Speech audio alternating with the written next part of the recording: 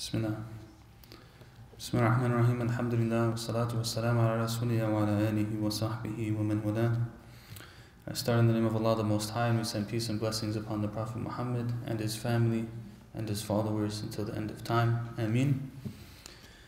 First and foremost, it's a, it's a pleasure to be here. It's actually my first time coming to this facility, so it's a pleasure to be here. It's a pleasure to spend uh, a few minutes with you all. And the topic that I was asked to address is the topic of Muslim youth in the West. Muslim youth in the West. So, there have to be kind of some opening remarks on the topic itself, and I think this is the easiest way to get to a deeper understanding of it. I actually won't, um, I wouldn't say that it's necessarily particular. So I wouldn't say that the advices to Muslim youth is partic- are different if they're in the West versus the East. Uh, that's the first point. The second point is that I don't think that the West is monolithic. So a lot of times when we were in Egypt, for example, people would ask, "How is Islam in the West?" I said, "Well, what do you mean?"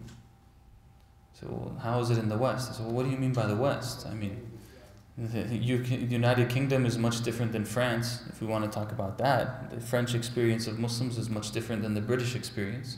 It's much different than the German experience, which is much different than Spanish experience, for example.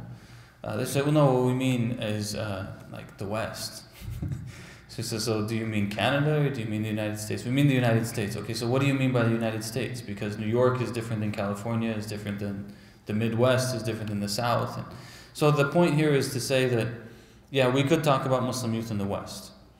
But I think what's actually more interesting to talk about, and perhaps then it will lead to maybe specifics to the West, is the question of what should Muslim youth in general be doing. So, what is actually the issue of Muslim youth? And I think that this is multifaceted, but to, there are some particular things that we should point out. The first, and I think most important part of any issue related to Islam is the issue of learning. And the fact of the matter is, Muslim youth, you might have someone that, right before this, I was in a discussion with our youth group. So, one of the questions was, what if there's a Muslim kid who studies Christianity and they think that Christianity is actually correct and they decide that they're going to follow Christianity. And I said I would think that they were wrong and that they probably didn't spend as much time studying Islam as they spent studying Christianity. Because had they studied equal, equally, then they would have stayed in Islam.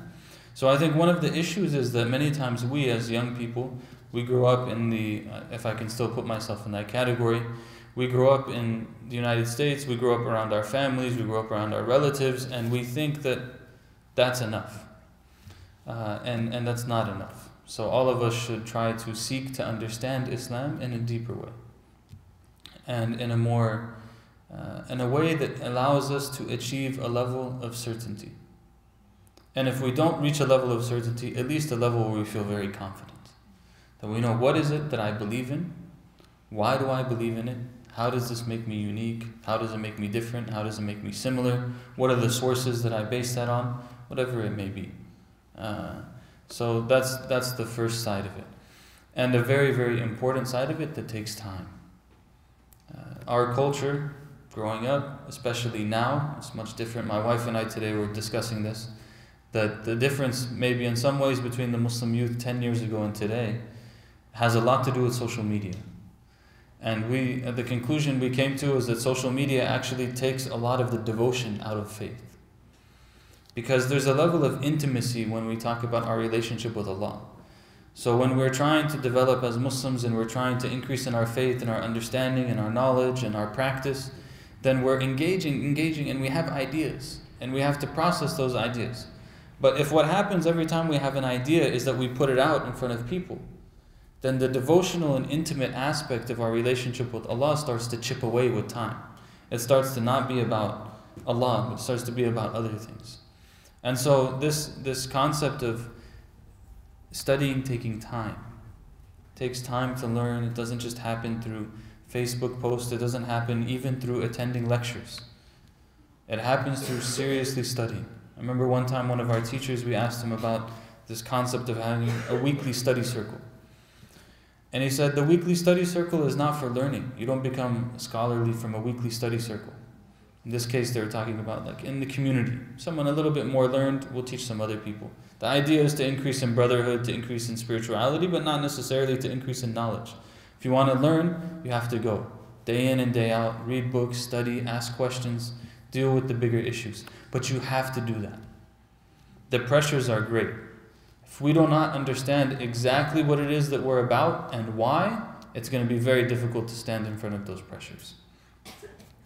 The second thing, which is actually very intimately related to the knowledge side, is the spiritual side. And by the spiritual side, I mean the, the process and the important development of our hearts. Uh, we, ha- we have a tradition where the Prophet, peace be upon him, and his family said that there's a morsel of flesh in the body, if it's not pure, then the whole body is affected. And if it's pure, then the whole body is pure. And this is the heart that the heart actually barana ala qulubihim ma kanu yaksibun that Allah says rather it was their hearts were concealed by that which they used to do and so there is a relationship between the mind and the heart actually you know Fir'aun he said وَمَا أَهْدِيكُمْ إِلَّا سَبِيلَ الرَّشَادِ He said to his people I do not guide you except to the path of righteousness imagine it's Fir'aun it's the Pharaoh Pharaoh was telling his people I'm not guiding you except to righteousness. He thought he was right. So there's a very, he thought he was right because his heart was so messed up. His heart was so messed up that he couldn't even see wrong as wrong and he couldn't see right as right anymore. So there's a relationship between the intellectual and the spiritual. And this is why some of the scholars of spirituality they said in reference to those who do not engage in a process of purification, he mentioned them as الَّذِينَ سُتِرَتْ عُقُولُهُمْ بِظُلُمَاتٍ هَوَى That they are those whose minds were concealed by the darkness and the cloud of sin. The darkness and the cloud of their desires, even more particularly, their desires. So when we talk about the path of spiritual development, the core element in the path of spiritual development is to go against one's base desires. To go against one's base desires. And this is something that is absolutely so important in a very, very deep way. And it's at the heart of everything. If you, one does not have enough discipline to go against their desires, it's going to be very difficult to do everything else. Probably the first place that we see this as Muslims on a daily basis is at Fajr. The first place you have to go against your desires and do what's right is to get up for Fajr. And one of our, our friends and colleagues used to always say, you know, people they talk about changing the world, they talk about helping the poor, aiding the oppressed, doing all these amazing things, but they can't lift their blanket to get up for Fajr prayer. If you can't lift your blanket to get up for Fajr prayer, what makes you think you're going to be able to stand for justice? A, there's a relationship between these things. And it all goes back to being able to discipline ourselves. To have a level of spiritual discipline so that I can do what needs to get done when it needs to get done. And that starts with getting up and praying on time, and that continues to any other number of things throughout the day. My father in law used to give this example. He said, if you have a child and you don't want the child to eat some candy, and you tell the child, don't eat this candy, right? You take this, this very sweet and tempting water, candy, and you tell them, don't eat this candy and you put the candy on top of the fridge where the child can't even reach it, and the child doesn't eat the candy, it's not really a big accomplishment, right? You know, this is the way we are sometimes. We say, well, I didn't do this and I didn't do this. Well, I don't have a haram relationship with any girls right now. Or I don't have a haram relationship with any guys right now. Okay, could you have? maybe you don't have one because you couldn't in the first place. Or maybe you don't have one because you don't. This is a big difference, right? So if you put the thing on top of the fridge and they don't take it and they can't reach it, it's not really a big success.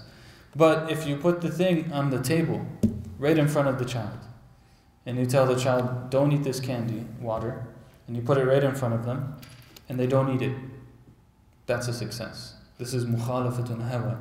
This is to go against one's desires. This happens so many times on a daily basis, I can't even tell you. You know the easiest one to practice now?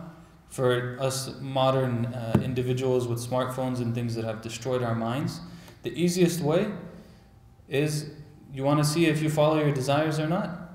Put your phone in your pocket, and the next time you have this feeling to check your Facebook, don't check it. This is the most applicable one now. And then two minutes later, you're going to have the feeling again. You're going to want to check it again because we're addicted. You just want to do whatever you want to do, you do it at that time. If we can't go against our desires, we can't succeed actually in all of the areas of development that we need. We can't succeed in the knowledge side because we're not going to have the patience. We're not going to have the patience. If we don't go against our desires, we're not going to have the patience when it comes to knowledge. Why? Because it's hard.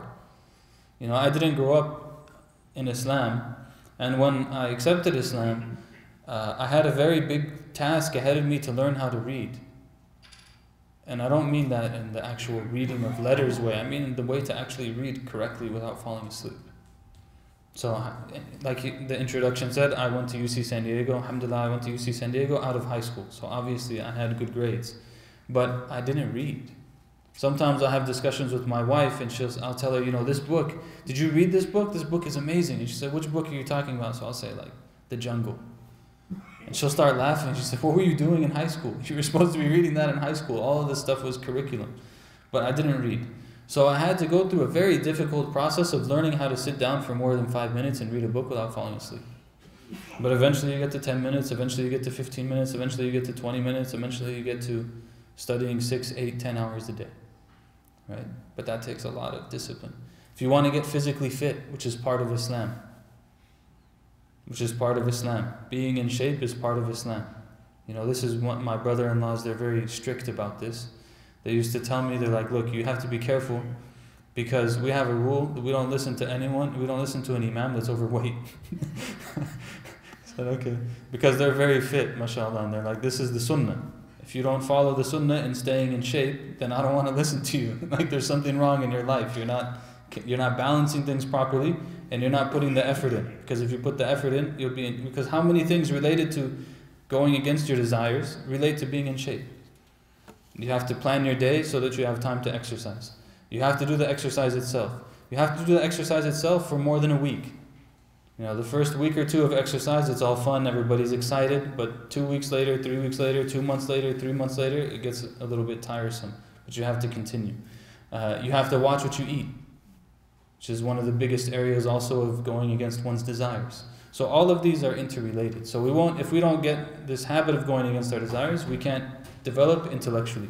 We also cannot develop spiritually. Because there's developing spiritually is not about following our desires. It's about following what's true and right and good and beautiful. And that's not always what people tell you is true and right and good and beautiful. So this goes back to the first one about knowledge. So you engage in this. You engage in this, and with time, with going against our desires, we're able to accomplish that. So these are two routes to go down, right? Two foundations. Two foundations that absolutely have to be there.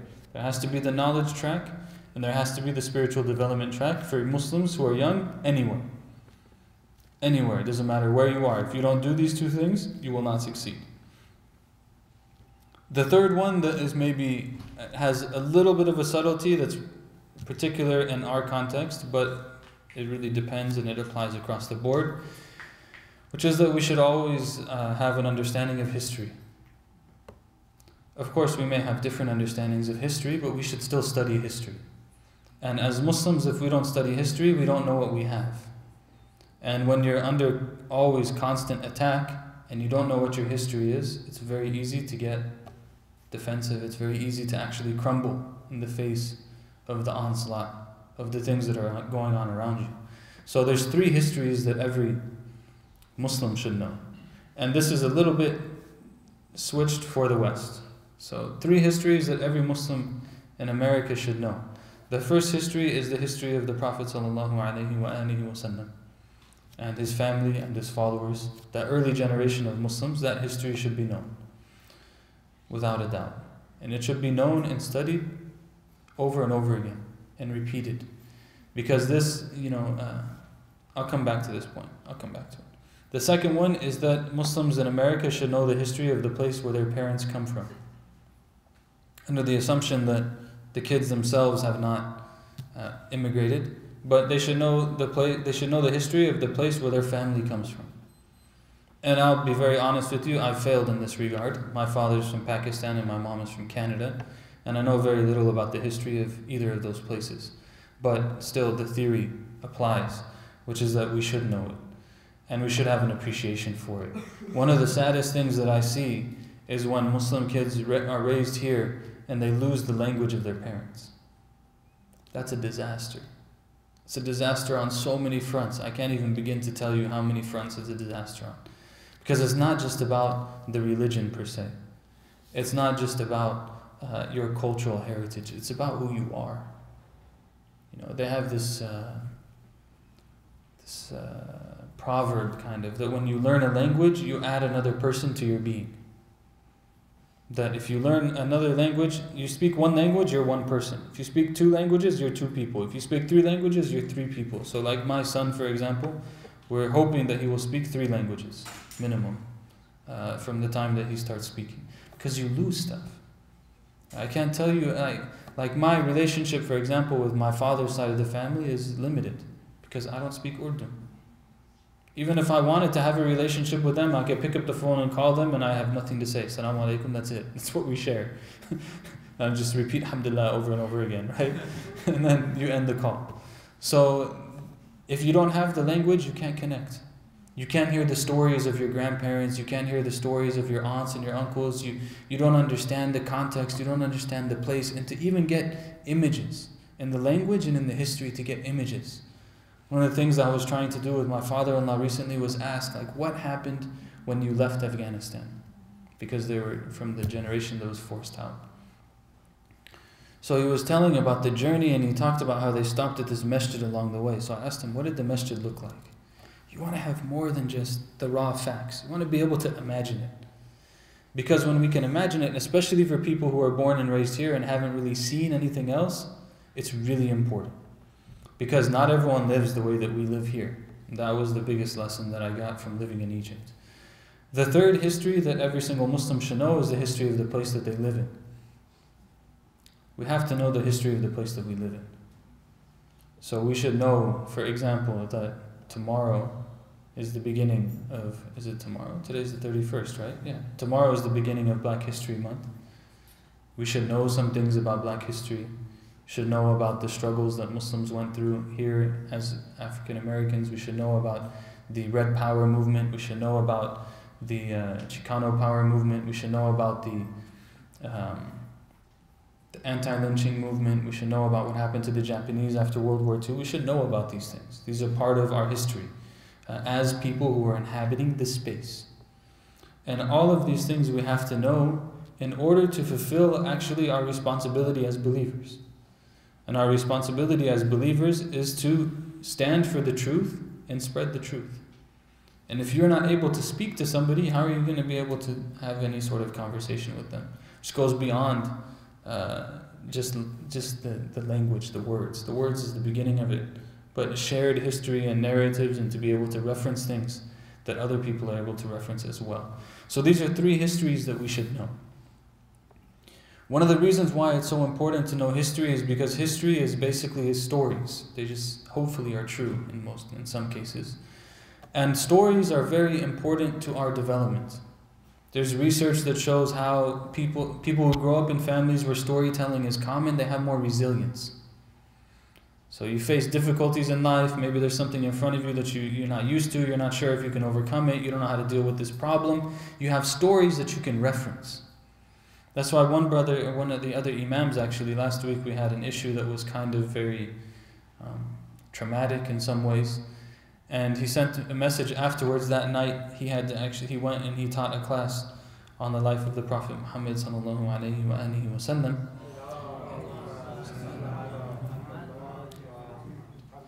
And so he sent a message afterwards and he said, if you ever feel like you can't you're being overcome with the difficulties of life and responsibility and stuff, go teach about the life of the Prophet. Because if you do that, you're going to find everything you need. So you're going to be able to understand. Like, the, the amazing thing about the life of the Prophet is that there's so many elements in it. Someone would say, for example, I don't know, I don't know how to deal with this situation because I come from a single parent family. So, so did he. I don't know how to deal with this situation because I'm poor. So was he. I don't know how to deal with this situation because of this or that. Like any kind of issue you can think of, you'll find either in his life or his family or his followers. You'll always find it. So if these stories are there, you have a reservoir. So you face a difficulty, and this is the same thing that applies to stories about your own family. Families that tell the stories about their immigration, about the struggles, about the things that they went through, it broadens the horizon and gives a level of strength and resilience in the face of any sort of difficulties or trials that we might have. So, this is the second element. The third and last point is uh, related to culture. And culture is a very kind of complicated question. It's a very, people write PhDs on culture. But culture is very, very important to think about. However, I do not think my my I would like to posit that we will not be successful as Muslims in this country as long as we try to copy our cultures from back home and apply them here. I don't think that this will work. Does that mean that we should leave entirely the things that we have in our cultures and just adopt everything that people do here? Not necessarily either. But the discussion is how to find that middle ground. The analogy that's sometimes given is the analogy of a river. Say that Islam is like a river, and depending on what is at the bedrock of the river, it looks slightly different. So if, if the river goes over red, then it has a red tint to it. If it goes over green, it has a green tint to it, or a brown tint to it, or whatever it may be. But the river itself is the same. This is like Islam in different places. So if you look at Islam in any number of countries around the world, you'll see different subtleties of practice. Generosity is there across the board, it might be shown in slightly different ways.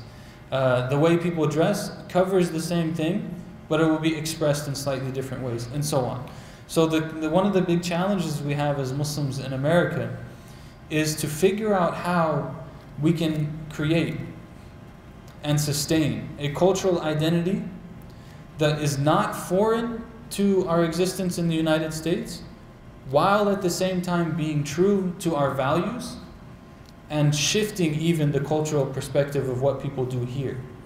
So it's not just a success, like it wouldn't be a success to have a Muslim community uh, that's generous or so on, that's, that's hopefully given. But the success would be to transform the way that our general society thinks about generosity. So usually with Muslims, when you go to a restaurant or something, you don't you don't go Dutch. You know, in the U.S. they call it going Dutch. In Colombia they call it doing it going Americano. That's doing it the American way. So I guess different countries blame other countries, which is I guess usually uh, something that happens. But usually we end up fighting with each other at the cash register, right? So you go and you order some things, and then there's a little bit of a tussle about who's going to be paying, and the person who's taking the bill looks at you like you're crazy. Because, like, who are these people? They're fighting over who gets to pay, right? So it would be a success, I would say, if that became normal. Like, if with the norm, then if we culturally were able to present this beautiful thing culturally, this issue of being generous is a beautiful thing. So, how can we present within our context that issue of generosity in a way that everyone else will pick it up and they want to be like that too. That's the big question. So it's not only about adapting to the place that we're in without losing our values, but it's also about presenting something that's so beautiful that other people want to be like you. And sometimes this happens in weird ways or it happens in different ways. Um, I'll give two examples or maybe three that will show this. It's it's not always. Sometimes it's random things. Like in Philadelphia, for example, uh, there was a period at least where there's a lot of Muslims who believe that their pants can't be below their ankles. So they would have their pants always like above their ankles, sometimes mid calf, and they would do this out of their religious conviction. And it became so normal and common in certain areas of Philadelphia that it got a nickname with non Muslims. So a non-Muslim would see it and they'd be like, "Oh, you flooding? You're flooding." Okay, like this is what they, they would call it. Like if someone puts their pants up, they're flooding because it's like there's water. They pulled their pants up, right? So it became a cultural practice. Non-Muslims would do it, Muslims would do it, and it became something normal. Uh, one time, another brother was telling me in D.C. he went into a barber shop and he sat down in the barber shop and he told him, you know, just like how to say this in an appropriate way, you know, clean me up a little bit. And then uh, he said, but don't touch my beard. So the barber, who's a non-Muslim, he looks at him. He says, "Oh, you going Sunnah?" Like this is you have cultural weight. If the non-Muslim barber is looking at you and saying, "Oh, you're going Sunnah," like he knows, okay, a lot of Muslims are coming in here. They're telling him, "Don't cut my beards," and it becomes common that all people in the area start wearing beards, and they wear beards, and they say like, "Okay, hook me up with the Sunnah," which means don't clean up my beard that much. When you sit at the barber seat, it's pretty incredible when you think about it, right? Another example of this uh, is from the Nation of Islam, although obviously we take issue with some of the uh, some of the theological beliefs, but nonetheless there's sociology that we can benefit from. Is that the Nation of Islam was very well respected in the inner cities in the United States. They were very well respected. You know, someone would dress up in this way and put a bow tie on. They put a bow tie on, and people will look at them and say, "That's a Muslim." They're putting on something that's completely not foreign at all to the environment that they live in, and they're known still to be a Muslim because of it, number one. And number two, the assumption will be that this person is a disciplined, strong, and respectable person. So people want to be like them. So the question is how do we develop ourselves with the excellence that's required of us in Islam, in the context that we live in, to be such that others want to be like us? They look at you and they say, I want to, I want to be like them. The last story I'll, I'll end with is some a guy that I know. He he had a secretary. Secretary is not Muslim. And another guy, another third coworker, one time he was telling the the secretary about how you know this guy he's so good. He's he's a nice guy. He's always on time. He he works hard. And the secretary, who's not a Muslim, looked at him and said, "Yeah, he would make a good Muslim."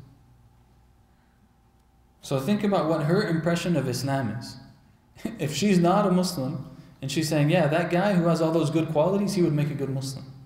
So this means that you're putting something out there that other people want to be like. And this actually is not only the the priority or the prerogative of Muslims in the West, but it's definitely an added emphasis in our context that we should be like that. You're not going to make everyone happy, but as long as we know ourselves and we stand by what we believe in with generosity and with uh, with patience and forbearance and gentleness, then it'll be okay, inshallah.